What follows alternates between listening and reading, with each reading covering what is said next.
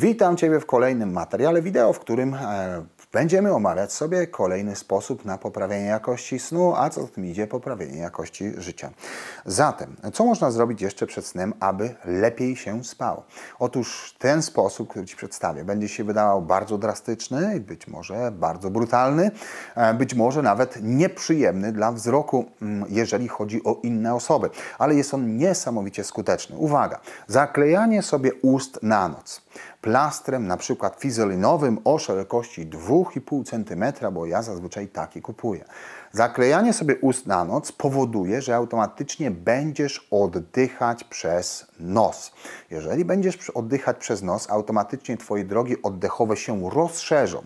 I uwaga, na przykład ze średnicy cienkiego długopisu e, Twoje drogi oddechowe e, powiększą się czy rozszerzą do średnicy kciuka kiedy powietrze będzie mogło swobodnie przepływać, lepiej natleniając, zupełnie lepiej natleniając Twój organizm.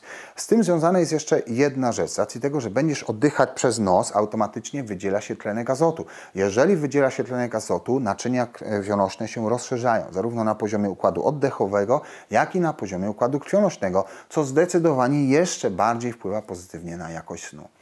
Zauważ, e, oddech e, przez nos w trakcie snu jest ciężki do kontrolowania, stąd też plaster, który zakładasz sobie na przykład przez miesiąc czasu, a później go zdejmujesz, ponieważ zaczynasz już automatycznie tak oddychać.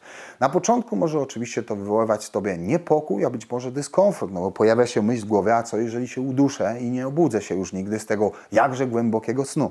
Otóż tak nigdy się nie stanie. Oczywiście, żeby to zrobić, najpierw na dwie godziny przed snem, przez te pierwsze dni stosowania plastra, zaklejaj sobie plaster plaster w ciągu dnia i chodź w ciągu dnia. Jeżeli masz zatkany nos, znajdziesz krótki materiał odnośnie odetkania nosa, e, kiedy to nos możesz odetkać właśnie za pomocą prostego ćwiczenia wstrzymania oddechów, a znajdziesz to e, na moim kanale. Jeżeli nie, to link znajdziesz poniżej do tego krótkiego filmiku, który pozwoli Ci nos odetkać.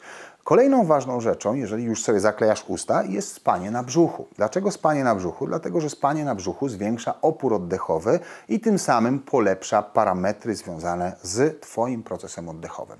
Zatem podsumowując, zaklejasz sobie e, usta na noc, szczególnie w początkowym okresie, żeby się przyzwyczaić i śpisz na brzuchu, ponieważ wtedy ten proces oddechowy przebiega najbardziej korzystnie dla Ciebie i Twojego organizmu.